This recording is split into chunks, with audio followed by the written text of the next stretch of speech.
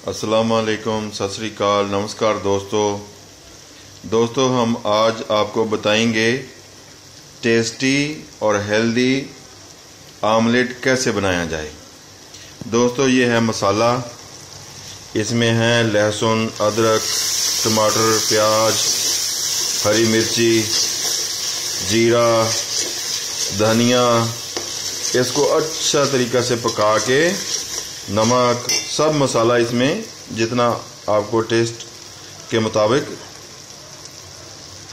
हल्दी और ये सब चीज़ें मतलब एक सब्ज़ी बनाने के लिए जो सामग्री होती है, वही है इसमें। ठीक है जी? और इसको अच्छा से पका लें अच्छा से पकाने के बाद इसको अंडा में मिक्स कर रहा है। मतलब जितना एक, दो अंडे का आमलेट बनाने के लिए जो सामग्री उसमें चाहिए डालने के लिए, वही उसी तरीके से ये उसमें मिक्स कर रहा है। ठीक है जी? और इसको फिर तवे के ऊपर आमलेट बनाना है।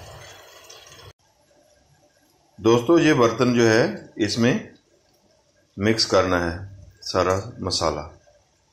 इसको पहले जैसे ये सूखा हुआ है, इसको हल्का सा पानी से गीला कर लें चारों तरफ़। अभी ये टोटी से पानी डाला और इसको गीला किया। ये बर्तन गीला इसलिए किया कि जो मसाला है और जो अंडा इसमें डालना है, वो इसमें चारों तरफ़ तरफ़ ना चिपके। ये देखिए दोस्तों, मसाला है एकदम बराबर मिक्स हो गया है। एकदम तैयार हो गया है ये। एकदम ये तैयार हो गया है आमलेट बनाने के लिए। अब इस मसाले को इस बर्तन में डालें।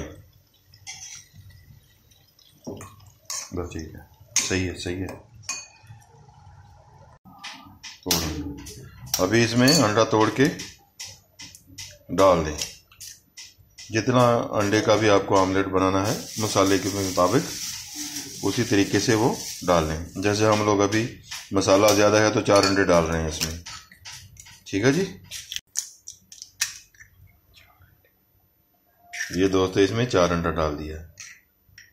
अभी इसको अच्छा से हिलाएँगे। अच्छा से इसको बराबर एकदम मिक्स कर दें, बराबर।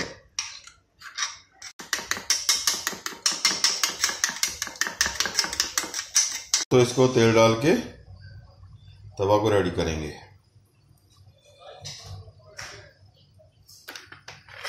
बंद कर।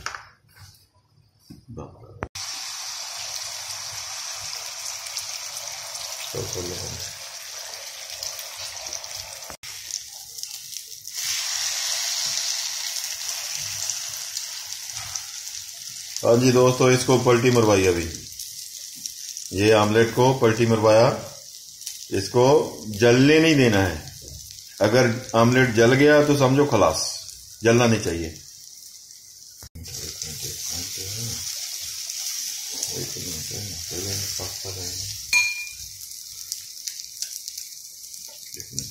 दोस्तों ऑमलेट रेडी खलास। अब इसको मज़े से खाइए। रेडी है जे खाने के लिए।